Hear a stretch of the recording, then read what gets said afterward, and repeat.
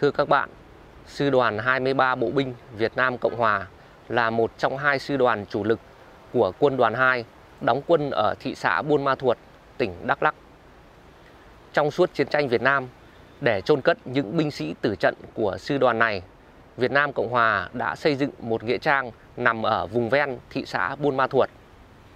Sau ngày thống nhất đất nước 30 tháng 4 năm 1975, cũng giống như hầu hết các nghĩa trang của quân lực Việt Nam Cộng Hòa, nghĩa trang sư đoàn 23 bộ binh cũng bị bỏ hoang phế cho đến tận ngày nay. Đây cũng là một trong những cái nghĩa trang rất hiếm hoi còn sót lại.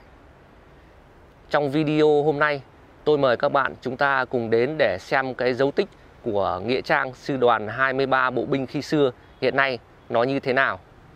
Bây giờ mời các bạn chúng ta cùng bắt đầu.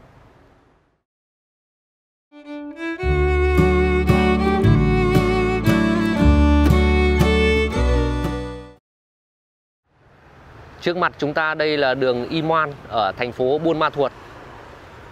Nghĩa trang của sư đoàn 23 bộ binh hiện nay nằm ở giao của đường Y Moan và đường Hà Huy Tập.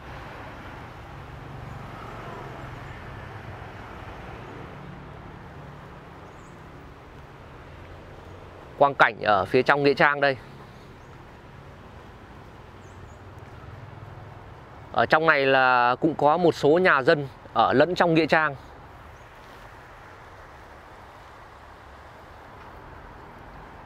Những ngôi mộ để hoang lạnh, không người hương khói.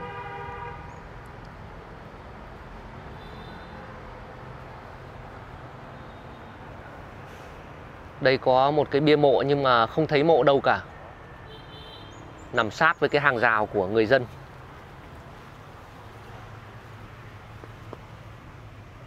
Đây nữa thấy mỗi chữ Trần thôi, còn là không đọc được bởi vì nó bị vỡ hết rồi. Bia mộ là cũng được làm bê tông cốt thép. Cái bê tông nó vỡ, còn lòi thép ra đây này. Như cái ngôi mộ này thì ờ, dấu tích vẫn còn. Cái phần bê tông xây xung quanh đây nó nằm thấp bằng với lại mặt đất tự nhiên.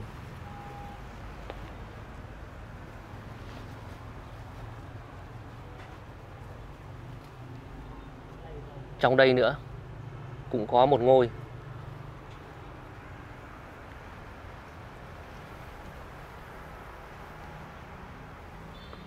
Ngôi mộ này thấy có chân hương. Thân nhân của những binh sĩ tử trận ở đây hiện nay có lẽ là cũng không còn ở Việt Nam hoặc là bị mất rồi.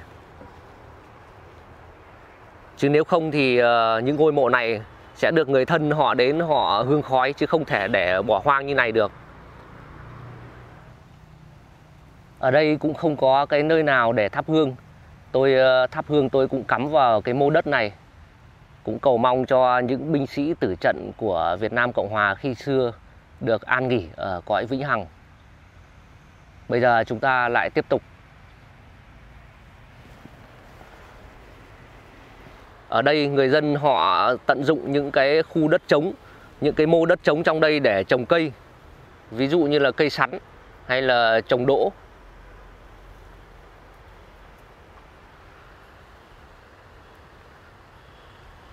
Các bia mộ ở đây là cũng còn khá nhiều đấy.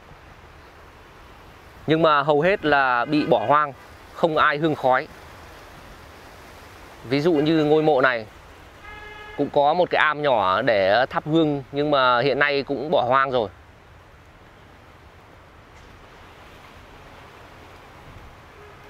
Còn ngôi mộ này nữa, người dân là trồng cây ở phía trên mộ luôn.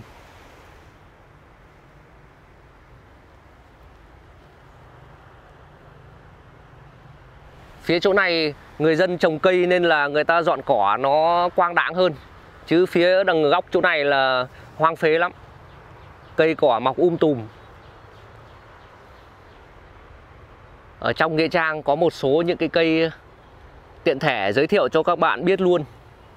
Đây, cái cây hoa nó nở trắng trắng. Cây này là cây rau tàu bay. Lá nó đây. Xưa kia cây này là cái món ăn của bộ đội đấy. Nhất là bộ đội Trường Sơn. Tiếp đến chỗ này là một bụi cây nữa. Cái cây này gọi là cây lá vàng. Cây lá vàng mà dùng để nấu nước uống đấy. Cái lá vàng thì nó cũng khá giống lá ngón, nhưng mà nó khác cái hoa thôi. Trong đây trồng cây hương nhu đỏ. Cây này dùng để làm thuốc. Cây rau ngót. Khu vực này người dân chỉ tận dụng để trồng các cây ngắn ngày thôi chứ không được trồng cây lâu năm, cây lấy gỗ đâu. Nói qua một chút về lịch sử của sư đoàn 23 Bộ binh Việt Nam Cộng Hòa. Đây là một trong hai sư đoàn chủ lực thuộc quân đoàn 2. Một sư đoàn khác là sư đoàn 22 Bộ binh đóng ở Bình Định, còn sư đoàn 23 thì ở Buôn Ma Thuột. Tiền thân của sư đoàn 23 Bộ binh là sư đoàn 5 khinh chiến, được thành lập năm 1955 sau đó cái sư đoàn 5 khinh chiến đó được đổi tên là sư đoàn 15 khinh chiến cũng trong năm 1955 luôn.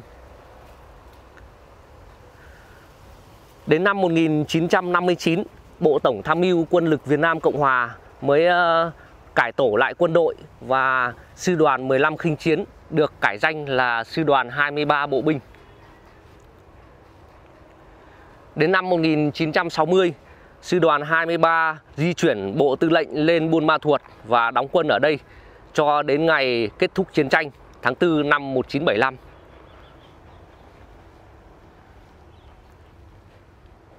Ở chỗ này ờ, thấy người ta lại đúc những cái ờ, chậu cảnh. À, phía trước mặt kia có một chỗ người ta kinh doanh cây cảnh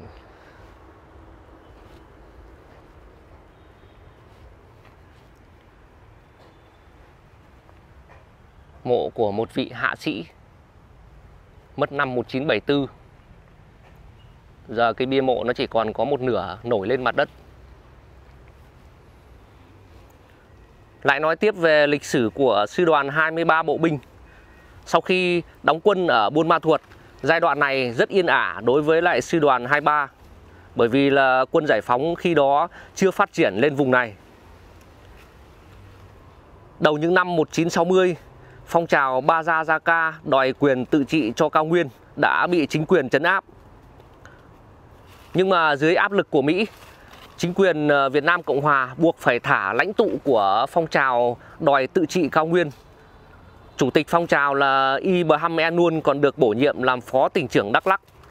Một thành viên khác được bổ nhiệm làm phó tỉnh trưởng Con Tum. Trong năm 1964, phong trào tự trị cao nguyên là liên tục quấy rối, tấn công vào các căn cứ của chính quyền Việt Nam Cộng Hòa.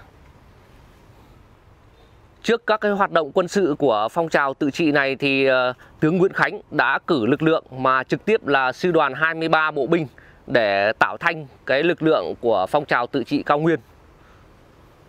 Sư đoàn 23 bộ binh phối hợp cùng với lại biệt động quân đã đẩy lui lực lượng này qua biên giới sang Campuchia. Cũng trong năm 1964, dưới sự bảo trợ của quốc vương Sihanouk thì à, mặt trận thống nhất đấu tranh các sắc tộc bị áp bức được thành lập và viết tắt tên tiếng Pháp gọi là Funzo. Mặt trận cao nguyên đòi tự trị à, phần lực lượng ở phía Campuchia là tuyên bố cũng gia nhập lực lượng này. Cái lực lượng Funzo này là họ cũng vượt qua biên giới Việt Nam Campuchia và tấn công vào các cái đồn bốt cũng như là các cơ sở của Việt Nam Cộng Hòa ví dụ như đài phát thanh, rồi họ kêu gọi, bạo động để thành lập một nhà nước tự trị.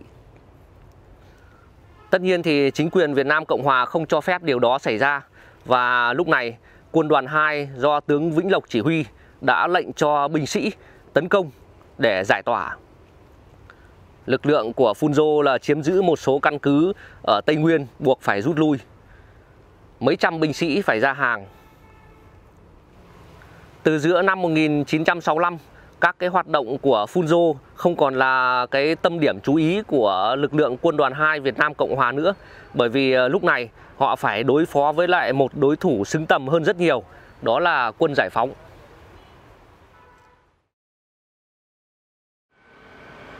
Đây là mặt đường Hà Huy Tập và như chúng ta thấy chỗ này là một số hộ kinh doanh cây cảnh ở đây nên là nó che mất cái phần của nghệ trang xưa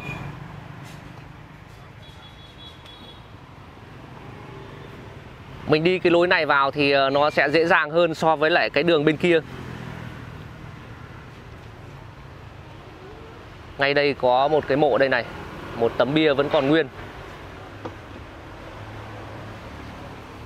Bên đây nữa có lẽ những cái mộ này là cũng đã được cải tạo một lần rồi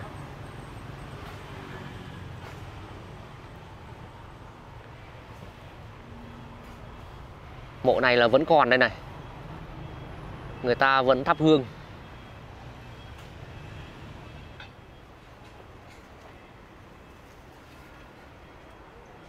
Trong này là bia mộ vẫn còn rất nhiều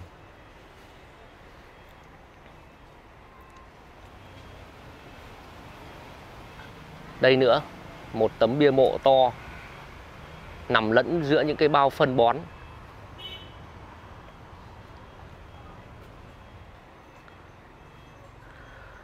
Trận chiến cuối cùng của sư đoàn 23 bộ binh là trong chiến dịch Tây Nguyên. Vào tháng 3 năm 1975, quân giải phóng đã mở chiến dịch Tây Nguyên và tấn công vào lực lượng của quân đoàn 2 Việt Nam Cộng Hòa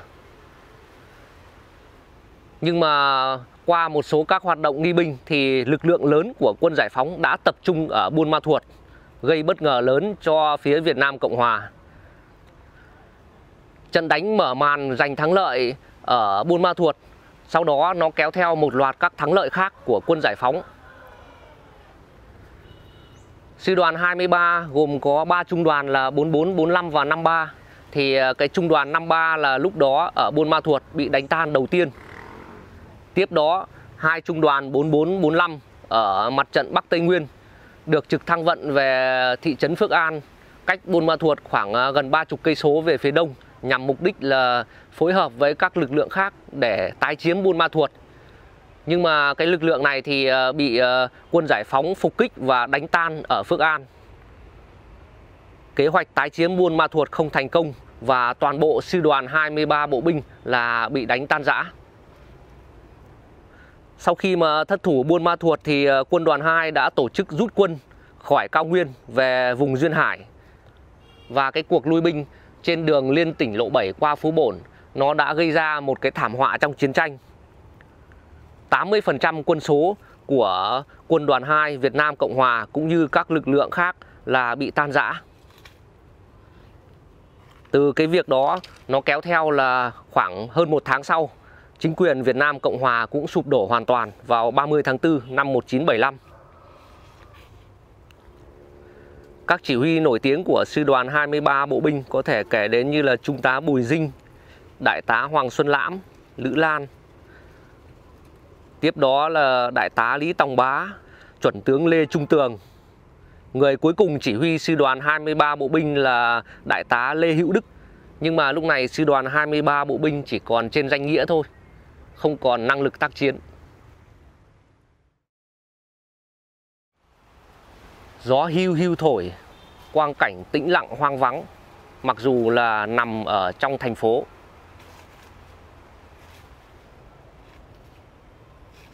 Ở chỗ này có một ngôi mộ sao lạ thế nhỉ? Được xây dựng bằng đá.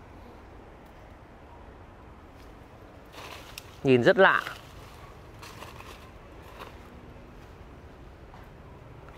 đây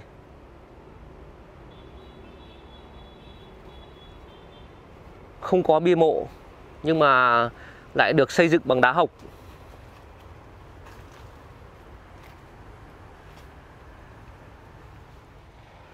Và trong đây ờ, nó tối nên là rất nhiều muỗi.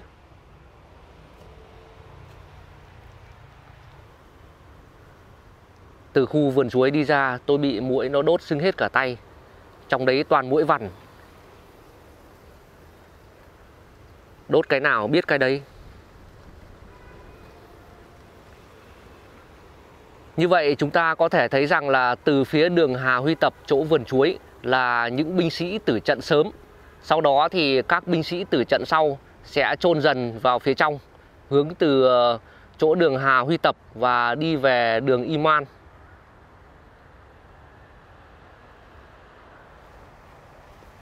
Đi qua cái vườn sắn này nó không có lối đi đâu mà mình luồn lách qua những kẽ hở. Bia mộ này cũng một ờ, binh sĩ người đồng bào biệt động quân tiểu đoàn 21 tử trận năm 1972.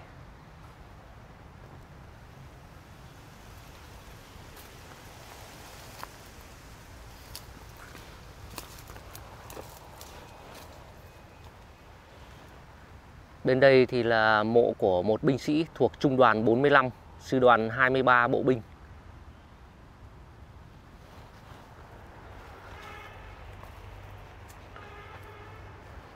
Nếu mà người thân của những binh sĩ tử trận ờ, của sư đoàn 23 hiện nay tìm về đây thì ờ, có thể sẽ tìm lại được mộ của người thân đấy, bởi vì còn khá nhiều bia mộ vẫn còn nguyên.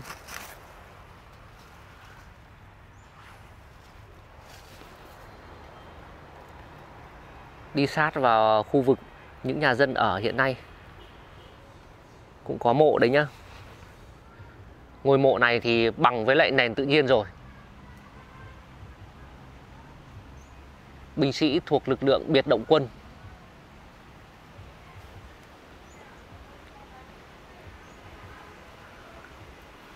Cái bia mộ kia nữa. Chỗ nào mà mộ vẫn còn bia, nghĩa là vẫn còn người nằm bên dưới. Mộ của binh sĩ này nằm cạnh cái chuồng gà.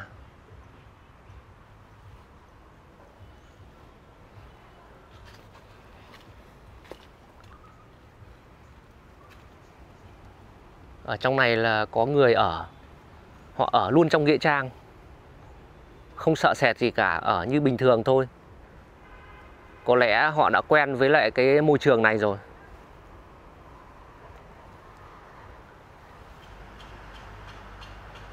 Như vậy là chúng ta đã vừa tìm hiểu về lịch sử của Sư đoàn 23 Bộ binh Việt Nam Cộng Hòa. Đồng thời chúng ta cũng đến xem hiện trạng của nghĩa trang sư đoàn này ở Buôn Ma Thuột hiện nay như thế nào. Một nghĩa trang bỏ hoang phế, không người trông nom chăm sóc. Có lẽ người thân của những binh sĩ tử trận ở đây họ không còn nữa hoặc là có thể đã di tản hết. Bây giờ tôi cũng xin dừng video tại đây. Hẹn gặp lại các bạn trong các video tiếp theo. Xin chào tạm biệt.